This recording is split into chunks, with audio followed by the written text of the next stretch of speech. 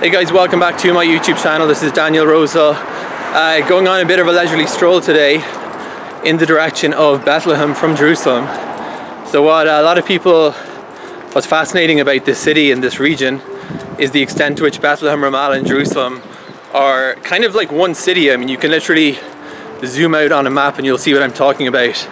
Uh, so as an Israeli citizen, I can't enter Area A, the West Bank, under normal circumstances, which is all the cities, Bethlehem, Ramallah, Jenin, all the places under full Palestinian control. Uh, but that doesn't mean that you can't walk out. And actually the walk from Jerusalem to south from Jerusalem, I'm walking here on Derech Hebron, Hebron Road.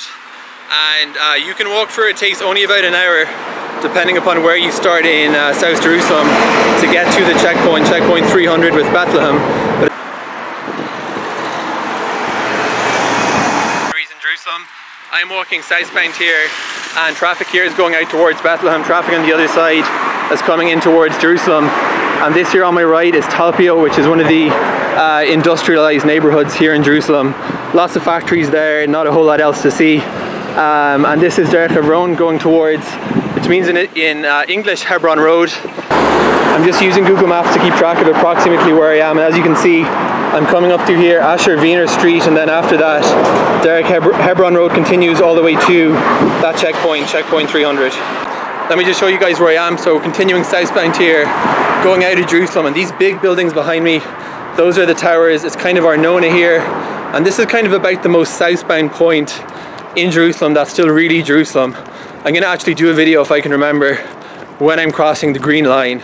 The green line actually goes along Derech Hebron Road, but there's really nothing to see. There's no actual uh, physical demarcation of the green line, which is really was only really ever intended as an armistice boundary between Israel and Jordan. But the green line does cross along these road, this road. This is some of the uh, scenery here, still going along Hebron Road, and we're just uh, running parallel now to Talpiot. And uh, there's some really interesting houses along the way here. I'm not sure what this thing is. There's like this random house with an Israeli flag. And these are all these really tall buildings here. Okay,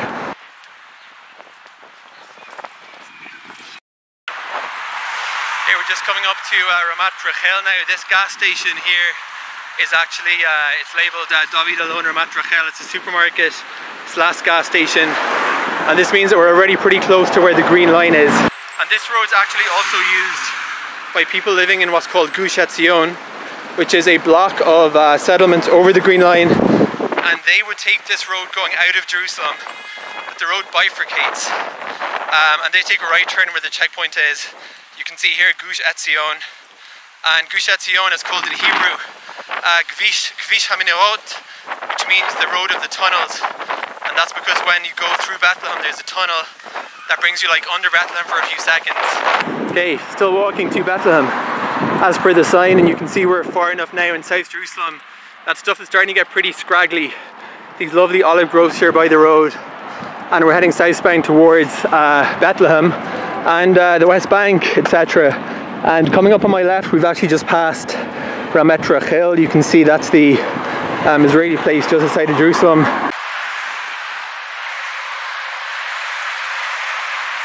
Okay, we're just passing by the entrance to Chomat Shmuel. This is uh, built over the Green Line. It's an Israeli uh, neighborhood of Jerusalem, and you can see it in the distance. There's some gorgeous views here, looking over the West Bank. So just on the walk to Bethlehem now, I decided to call into a local uh, beer place, and it's amazing that even in this kind of remote part of the road outside Jerusalem, you can find a Carlsberg and beer. So I'm just taking a quick hydration break before uh, continuing further towards uh, towards Bethlehem on this amazing walk.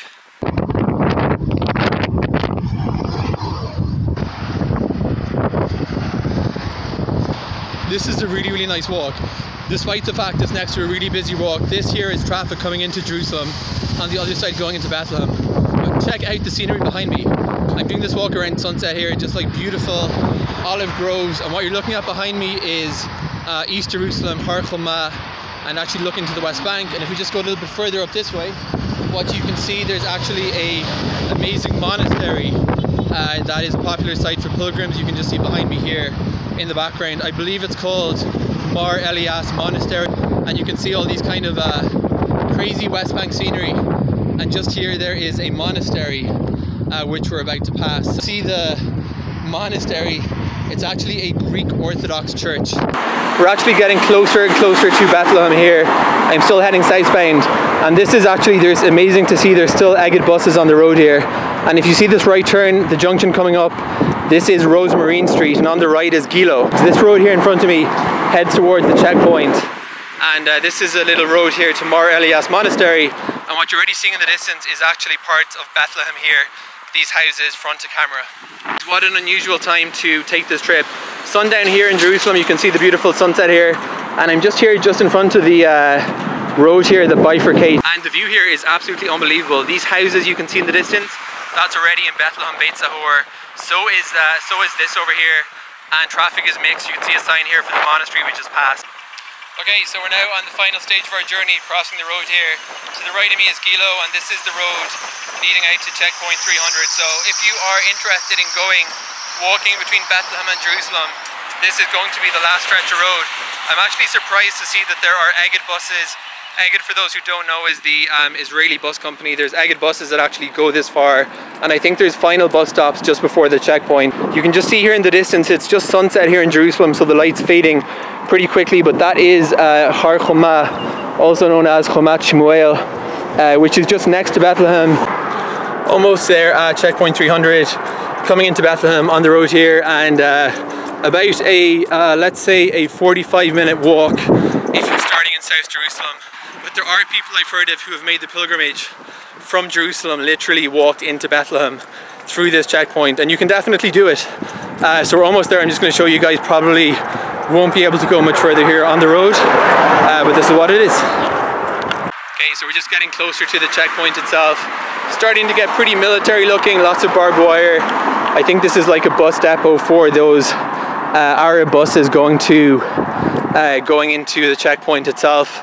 And you can actually see the houses of Bethlehem here in the center of my screen. So beautiful olive groves here on the right. Completely looks kind of like almost uninhabited land. And you can see all, all in the background, that's all Bethlehem. You can actually even see uh, the hotel there, Tantur. You can see in the distance that concrete structure there, skirting through the landscape, that's the separation barrier.